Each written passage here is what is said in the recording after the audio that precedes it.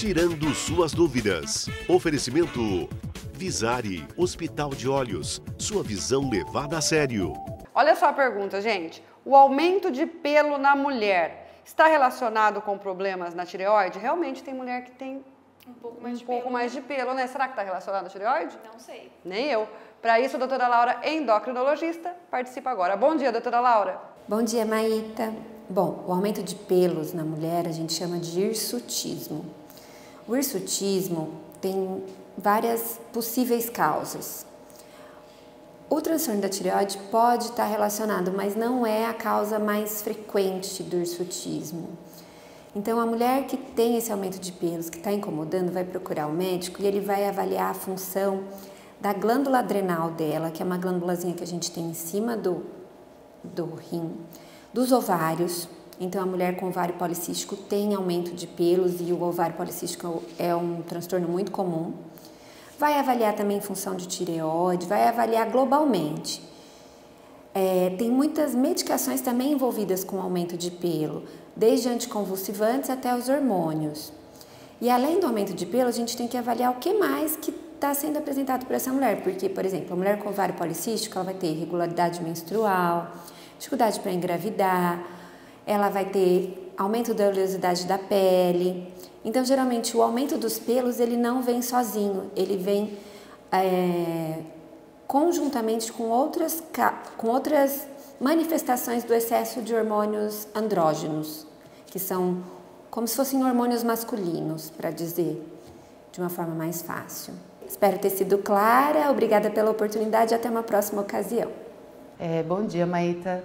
Obrigada pela, pelo convite. Esse tema é um tema que, a, que nós, como pediatras, realmente amamos, né? E tudo que a gente mais deseja é que a mãe também tenha esse desejo com relação à amamentação.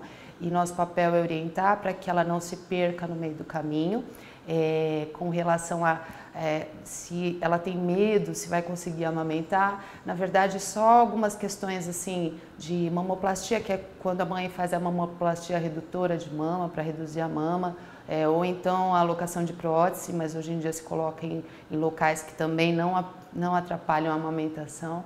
É, são questões pontuais, na maioria dos casos, na maioria das vezes, com uma boa orientação e uma assessoria da família, ajuda do esposo, das mães, da mãe, da sogra, enfim, não tem por que não dar certo a amamentação. A gente orienta sempre assim um ambiente adequado, um repouso entre as mamadas, né? O bebê não tem horário, a mãe tem.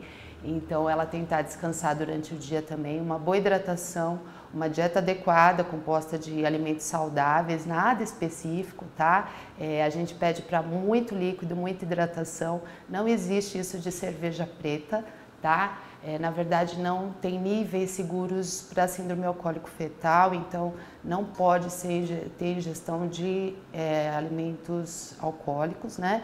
Mas o que faz da leite mesmo não é a canjica, não é o, o, a cerveja escura, é a boa hidratação, tá?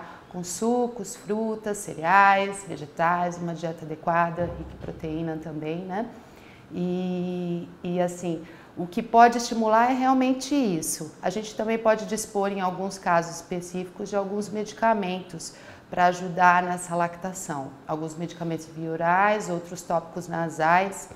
E acho que é isso aí, é confiar no seu pediatra e ter toda, todo o suporte da família, tá bom? Muito obrigada pelo convite e até uma próxima.